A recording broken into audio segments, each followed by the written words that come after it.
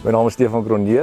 Ek is uh die streeksbestuurder vir Molotek in die Sentraal Vrystaat gebied, Noordwes en dan Noord-Kaap ook.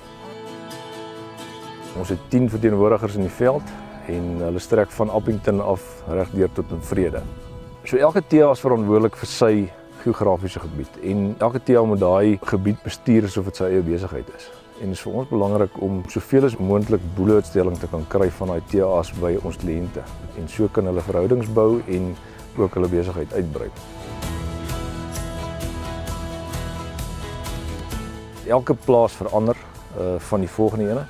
So is belangrik dat dat hulle weet wat in hulle gebied aangaan en en ook 'n algemene kennis het van alle boerderypraktyke. As jy gaan kyk na verskillende scenario's, elke boer het sy eie grondstowwe of verskillende grondstowwe wat ons mee moet werk om dalk 'n finale rantsoen saam te kan stel. Jy weet so ons wil graag 'n oplossing vir ons boere gee deur ons tegniese kundigheid te kan gebruik en dan ook so vir die boere beter beter besluite kan help maak.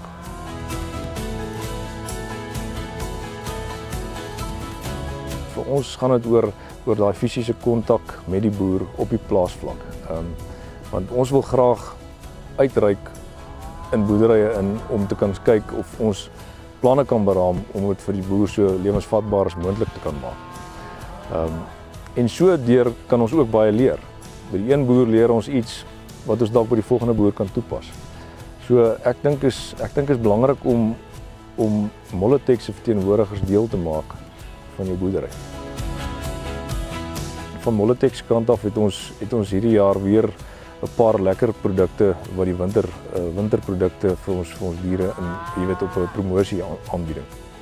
Ja, omdat ons so so 'n uh, uh, heelwat later reën gekry het as as normaal, het ons nou wel goeie veidings op hierdie stadium, maar die veidings begin nou afgaan, dit begin nou in die saad kom. So dis belangrik om om die diere wat se kondisie nou regtig goed is, ehm um, te behou vir hierdie winter. So hoe vinniger jy nou kan begin dink aan aan 'n oorgangstipe lek of 'n uh jy weet begin jou goeders doen lank reg kry vir die vir die winter wat voor lê. Ons sit met um, met droëveld 46 in in ons stal en ons sit met proteïenlek 40 wat twee uitstekende winterlekke is wat ons kan gebruik vir hierdie tyd of ons kan in hierdie fase wat ons nou sit met die saad uh, die gras wat mooi in saad is kan ons kyk na 'n produk soos uh, kondisielek om om daai oorgang net soveel makliker te kan maak vir die diere. Indien julle dalk belangstel oor oor wat die promosie behels en wat se produkte daar uh, betrokke is, kontak gerus hulle tegniese adviseur.